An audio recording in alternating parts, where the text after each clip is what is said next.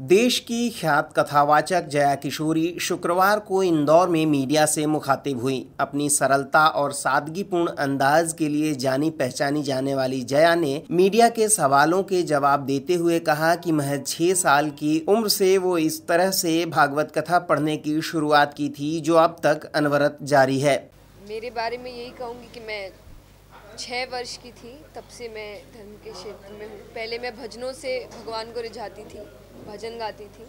और मैं जब 10 से 11 साल की हुई, तब मैंने अपनी पहली कथा करी और तब से लेकर अभी तक मैं कथाएँ कर रही हूँ। नानी बाई का मायरा और श्रीमद भागवत कथा। जबकि कठुआ रेप कांड जैसी बुराइयों को लेकर भी उन्होंने दुख व्यक्त किया और अपनी कथा के दौरान भी बेटी बचाओ और कन्या के खिलाफ जागरूकता लाने की बात पर ज़ोर दिया। बेटी से जुड़ी हुई हर घटना अगर कुछ गलत होता है, वो चाहे ये घटनाएँ हो या भ्रूण हत्या तक हो, जो हम बच्चियों को बाहर क्या अंदर, गर्भ के अंदर ही मार देते हैं, उन्हें बाहर निकलने में तो उस सब के लिए बहुत दुख होता है। और क्योंकि खुद एक बेटी हूँ तो मुझे वो, हम उस फील कर सकते हैं उसे कि कितना बुरा लगता है।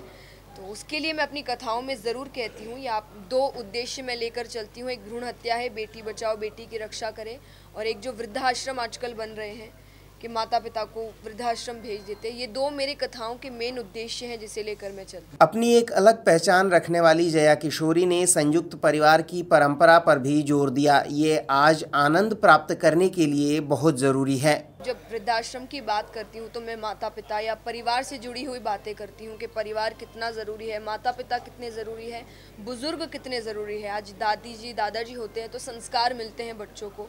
एक अलग सीख माता पिता से अलग सीख मिलती है, बुज़ुर्गों से अलग सीख मिलती है, युवाओं से अलग सीख मिलती है। तो इसीलिए जब पूरा परिवार होता है जॉइंट फैमिली में, तब बच्चे को हर तरफ़ से कोई ना कोई सीख मिलती रहती है। पर आज के समय में जब जॉइंट फैमिलीज़ है नहीं तो बच्चे भटक रहे हैं प्रेम के लिए प्रेम बाहर ढूंढ रहे हैं क्योंकि उन्हें घर में मिल नहीं रहा है वो चीज़। तो वही चीज़ों के लिए मैं कथा में कहती हूँ। नारायण सेवा संस्थान से जुड़ी जया किशोरी ने कहा कि वो परोपकार के कामों के लिए धर्म आध्यात्म के क्षेत्र में काम करती हैं। मीडिया से चर्चा के दौरान उन्होंने एक भजन गाकर पत्रकारों को भी आध्यात्म से जोड़ने का अंदाज पेश किया। देखिए मैं मेरा कुछ नहीं करती हूँ पर हमारे साथ कम से कम 30 से 40 जनों की टीम चलती है।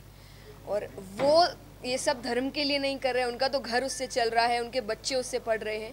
तो हमारी जितनी भी रहती है, उनकी फ़ीस है कि वो जो हमारे साथ नृत्य नाटिका है साउंड वाले हैं। और प्लस हमारी जो भी राशि आती है, मैं नारायण सेवा संस्थान के साथ जुड़ी हूँ। वहाँ फ्री में बच्चों के जो हैंडीकैप्ड है, हम जिसे दिव्यांग कहते हैं, दिव्यांग शब्द मिला है सरकार से, उनके फ्री में ऑपरेशंस होते हैं। तो वो राशि वहाँ जाती है उन बच्चों के लिए, उनके ऑपरेशंस के लिए। तुम्हारे थे प्रभु जी, हम तुम्हारे हैं।